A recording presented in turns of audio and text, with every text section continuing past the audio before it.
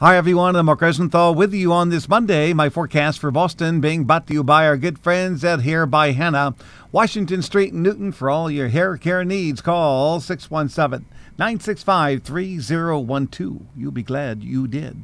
All right, where is the weather headline? And here we go. It's a cold and windy Monday, bit milder tomorrow, dry pattern, no storms, folks. And actually, I think by Wednesday, Thursday, away from the coast, it could be in the 50s.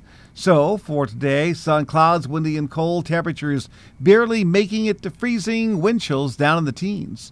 Overnight, clear sky, breezy, and cold actual air temperatures in the teens. Here's your five day forecast for Boston, starting with tomorrow sun, clouds, less cold, less windy, 44, 54 on Wednesday, sun clouds, 50s Thursday. Both days will be cooler at the coast. Colder on Friday with a northeast wind. It'll be about 43. Then we start warming it up all over again for the weekend. So there you go. That's my forecast. Thanks for checking in. Please stay tuned for updates. I'm Mark Rosenthal.